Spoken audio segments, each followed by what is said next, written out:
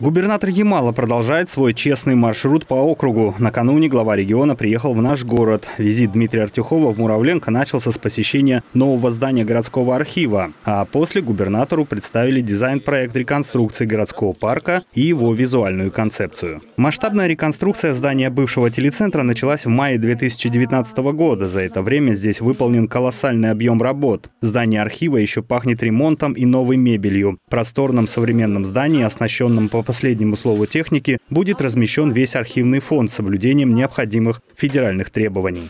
Уже окончательно сюда приедете? Мы на сегодняшний день перевезли 40% фондов. Мы надеемся, что в течение двух недель мы привезем остаток 50% фондов как вы видите, мы уже обживаем территорию. Губернатора знакомят с хранилищем аудио и видеоматериалов, рассказывают, как ведется реставрация и оцифровка документов. Демонстрируют компьютеризированные устройства нового поколения. Сегодня фонд архива насчитывает около 30 тысяч дел. Значительная часть фонда – личные документы горожан. Это что за домовая книга? Это расчеты заработной платы. Вот требуется, ага. видите, требуется реставрация, потому что через какое-то время документом пользоваться будет невозможно, поэтому... Какой год? Это вот сейчас мы с вами можем посмотреть даже какой год.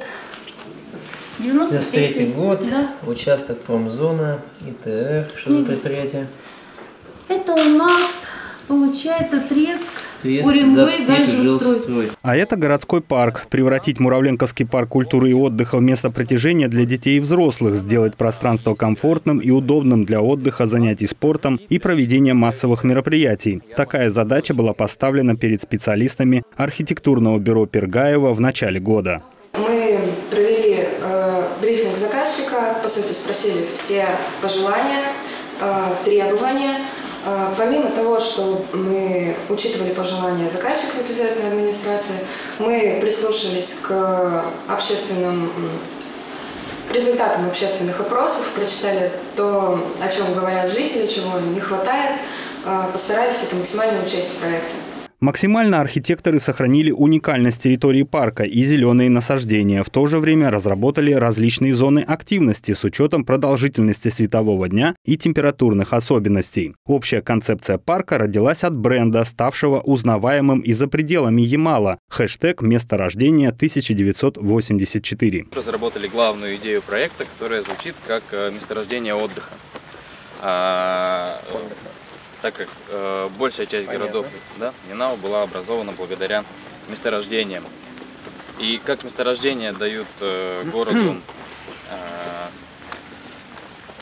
работу, дают городу возможность формироваться, так парк дает возможность жителям отдыхать, Архитекторы предусмотрели массу детских игровых площадок, полностью переоборудован пляж. Здесь есть место для купания, смотровая зона, пункт проката катамаранов и лодок, медпункт со спасательной вышкой. В парке предусмотрено место для обустройства кафе и ярмарочная площадь. Дизайн-проект изменил центральную площадь парка. Здесь архитекторы предлагают разместить не только сцену, но и для удобства зрителей построить трибуны в виде амфитеатра. Проект обсудили и с жителями города. Именно муравленковцы высказали свои мнения в социальных сетях о содержании парка, в том числе и в рамках проекта «Уютный Ямал». И жители действительно предлагали очень много разных идей. Мы очень внимательно из всех соцсетей, которые были, мы сделали выборку. Мы полностью проанализировали вот все, все что предлагалось и, соответственно, передавали это нашим э, ребятам, да, вот кто занимается этим. И вот теперь я могу с уверенностью сказать, что подавляющее большинство тех идей, которые были предложены, они нашли свое отражение вот, вот тут. Губернатору детально рассказали о концепции реконструкции парка. Дмитрий Артюхов отметил, что проект очень хороший и его обязательно поддержат. Здесь же в парке состоялась церемония награждения жителя города Виталия Бартащука, который в мае, рискуя собственной жизнью, спас двух мальчиков, которые провалились под лед на озере. Губернатор вручил герою почетную грамоту. Спасибо вам. Вы Спасибо. настоящий, смелый, настоящий мужчина. Ну, на моем месте друг, другой нормальный также бы поступил, как говорится.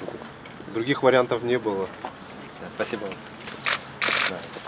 Сам себя Виталий героем не считает. Говорит, главное, что удалось спасти детей. Любой нормальный человек э, поступил бы так же. Ну, как говорится, у меня вот знакомые говорят, ну, к сожалению, в наше время бывает такое, что когда трудная ситуация, люди достают телефон и просто снимают. К сожалению, бывает такое. Но нормальный человек, конечно, будет помогать, а не снимать просто все на видео. Эрнест Бавшин, Антон Иванов. Новости Муравленко.